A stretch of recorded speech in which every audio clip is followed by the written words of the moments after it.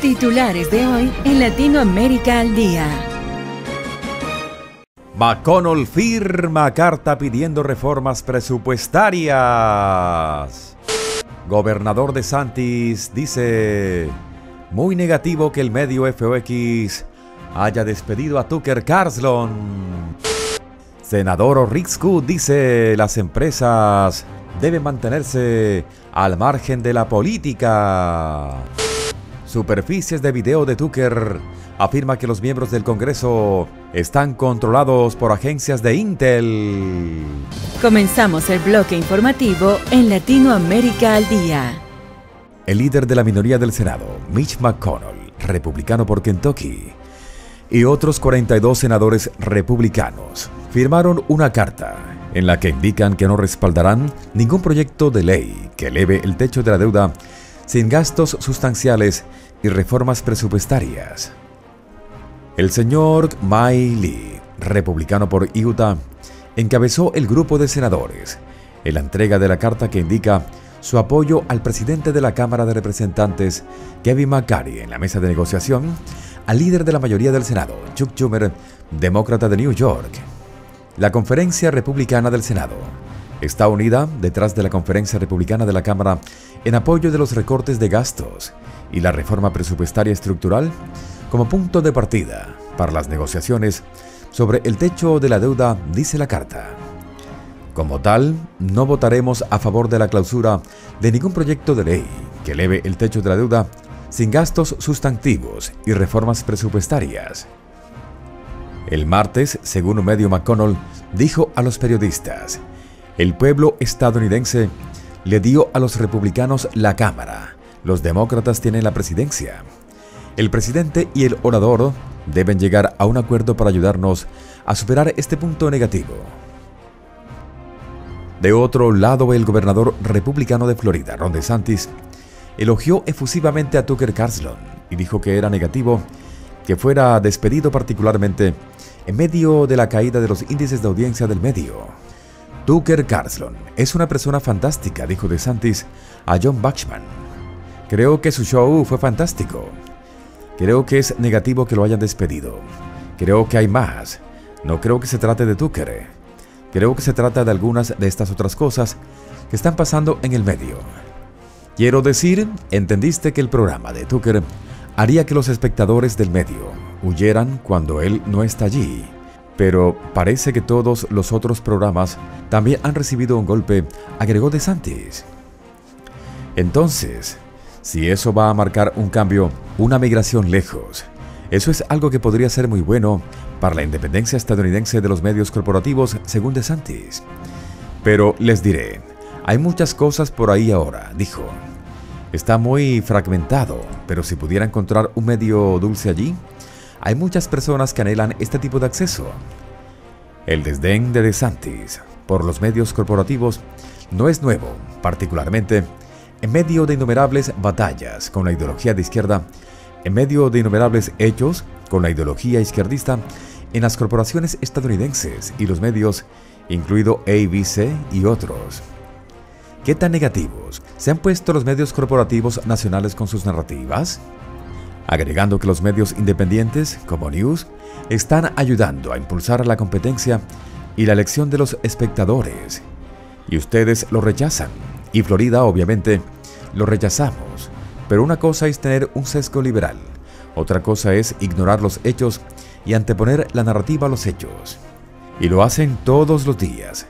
Y es por eso que la confianza está en un punto más bajo con los medios corporativos. Y es por eso que la confianza está en su punto más bajo con los medios corporativos. Pero la confianza y la adoración por Carlson están en su punto más alto. Incluso en medio de la expulsión y los ataques de los medios, según DeSantis. Era alguien que estaba dispuesto a hablar y desafiar las ortodoxias predominantes, por lo que está abordando los temas correctos. Y tiene talento, es divertido y fue un gran espectáculo, dijo DeSantis.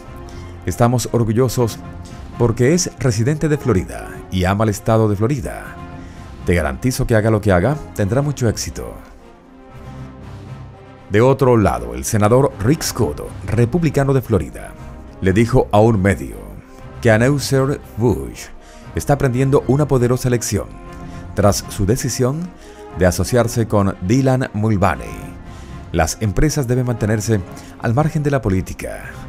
Mulvaney, que tiene más de 10 millones de seguidores y casi 2 millones en otras redes sociales, publicó un video del 1 de abril de una lata de un producto hecha a medida con su cara empresa en helado que dijo que le envió la compañía. Publicó otro video ese día de ella bebiendo una lata de otro producto mientras tomaba un baño de burbujas. La asociación provocó una gran reacción contra el fabricante del producto.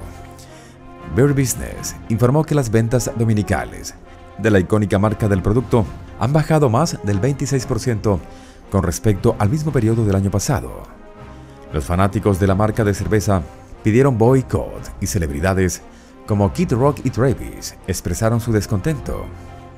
Estas empresas deberían mantenerse al margen de la política, dijo Scud a un medio. Nunca ganan cuando están involucrados en política. Desde que se instó la controversia, la vicepresidenta de marketing de la marca, Alisa Henscheidt, quien dio luz verde a la promoción de Mulvaney y calificó a la empresa de fraternidad y fuera de contacto, y Daniel Blake, que dirige el marketing de las marcas de Anshore, han tomado excedencias. Si quieres involucrarte en política, debes involucrarte en campañas y postularte para un cargo, dijo Scud. De otro lado, un video ha estado circulando en redes sociales después de que el expresentador del medio Tucker fuera despedido de su trabajo como anfitrión y algunos especulan si lo que dijo pudo haber influido. La entrevista es de una entrevista de diciembre del 2022 que hizo con la ex candidata presidencial demócrata Tulsi Gabbard, en la que dijo que algunos miembros del Congreso están controlados por las agencias de inteligencia. Hay miembros del Congreso que están controlados por las agencias de inteligencia. No estoy especulando sobre eso, lo sé. Viví allí durante 35 años, lo sé, dijo el expresentador del medio FOX. Un miembro de muy alto rango del comité de Intel de la Cámara de Representantes me dijo durante una cena en un restaurante en Washington que había estado bebiendo. Tenemos que hablar de esto. Dije que me enviaría un mensaje de texto. Él dijo, no envío mensaje de texto, porque es eso. Bueno, dijo la NSA, lee mis mensajes de texto. Le dije, ¿la NSA lee tus mensajes de texto? ¿La NSA lee tus mensajes de texto? Eres el jefe del comité de inteligencia. ¿Eres su jefe? ¿Estás supervisando nuestro sistema constitucional? Dijo, sí, pero todavía lo están mirando. La segunda cosa, Michael McCaul, quien es el líder de los conservadores en la Cámara. Tuve una discusión con él el año pasado por teléfono. Le dijo a alguien que yo era un agente de otro país o algo así. Y yo estaba indignado, así que lo llamé por teléfono. Y usé palabras negativas. Estaba realmente enojado. Él dijo, vaya, vaya, vaya. Eso fue justo lo que me dijeron los informadores de inteligencia, que está trabajando para otro país, dijo el expresentador. Y dije, ¿eso es lo que te dijeron los informantes de inteligencia? ¿Crees en tus informadores de inteligencia? ¿Cuántos años tienen, hijo? Soy de DC. Mi papá estaba en este mundo, como si estuviera siendo manejado por tus asesores de inteligencia. ¿Eh? Él dijo. Y dijo que tenían todo tipo de pruebas que lo corroboraban. ¿Has visto pruebas de que soy un agente de otro país? Soy americano. Yo nací aquí. Nunca he vivido en ningún otro lugar. Soy bastante patriota. Qué cosa tan escandalosa de decir. Básicamente me dice que creo lo que dicen. Y le dije como cinco veces. Probablemente ni siquiera debería estar repitiendo esto. Pero estaba tan enojado. Estaba pensando en esto esta mañana. Porque acabo de ver que McCaul ahora está enviando más dinero al país de U. ¿Cómo? ¿Por qué estás haciendo eso?